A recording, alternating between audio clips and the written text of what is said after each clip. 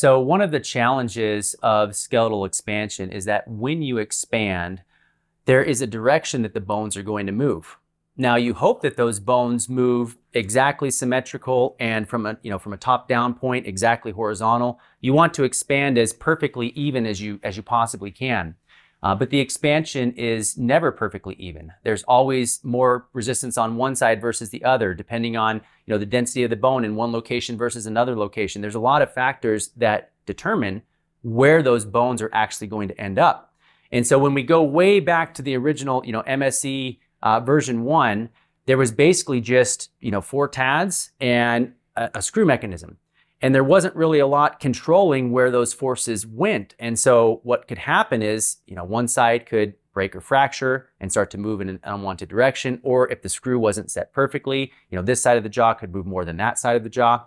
And these are still challenges that we are overcoming with all the current MARPE systems on the market. With this, the idea was let's design it from the very beginning in a very precise way so that the forces that we're applying to the bone are the most controlled possible.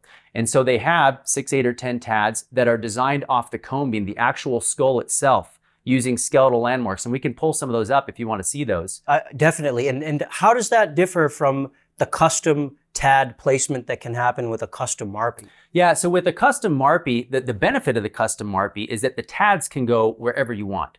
So you can literally find the best bone on the patient, and that's where you can place the TAD. So that's actually an advantage of custom MARPE. But right now, they're not using the same cone beam landmarks to set the actual screw. And the actual screw in the middle is going to be what determines the force that are applied to those TADs.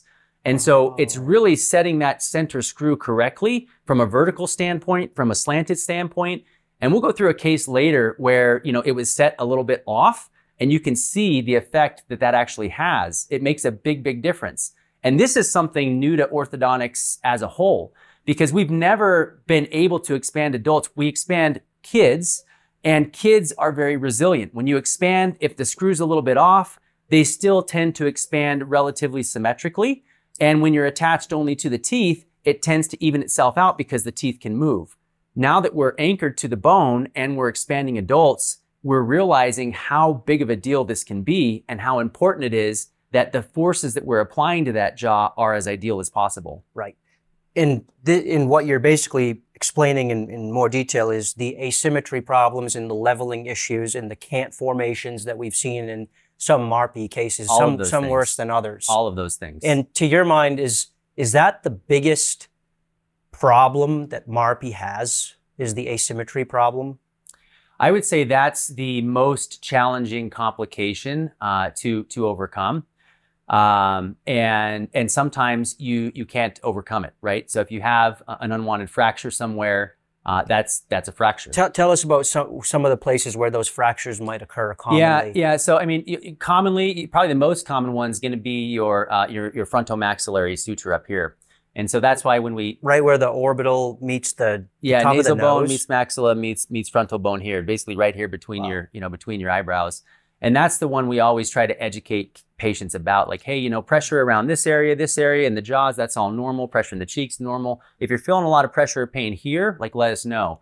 Uh, and that's why we, we if, if we have a, a fracture there, we want to know about it as quickly as possible because if you don't know about it and you keep turning, then essentially from the orbit down, this whole side of the face will expand down and forward more than the other side. It creates Wow. a, a facial asymmetry. I know there's some cases going around Reddit that show that pretty well. Definitely, yeah. Yeah. There's uh, some so bad that uh, orthodontic surgery could be needed to correct them. Well, and, and not even just orthodontic surgery, because our normal orthodontic surgery, Le Fort 1, I mean, the cuts are down here, True. but this is affecting structures even higher than that. So, you know, it, it could be, is it worth the risk to go in there and try to move the orbit back? Like maybe, maybe not. So you might still be working with a compromised result. I mean, this is the far end of extreme of, of what can happen. And, and by and large, this is 100% avoidable. Uh, making sure that you're having good follow up with your doctor, that, you know, they're keeping an eye on the expansion and making sure you're following their instructions. Um, but again, if, if you know if you go rogue and you turn your expander 100 times, I mean, you don't. That's one thing that could happen.